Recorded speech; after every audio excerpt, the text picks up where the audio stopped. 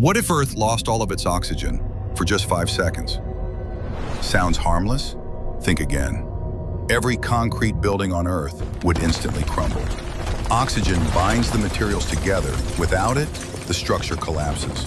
Next, Oh my flash god. burns. No oxygen means no ozone. And no ozone means zero protection from It deadly UV rays. Your skin would start to burn in seconds. The sky turns black. Oxygen scatters sunlight. That's what makes the sky look blue. Without it, even daytime would look like deep space. Then, the oceans boil. Water is made of oxygen. Take that away, and it splits into hydrogen gas, steam, heat, explosions, everywhere. All of that in just five seconds. It could never happen, but it shows how fragile our world really is. Follow for more mind-blowing science what if.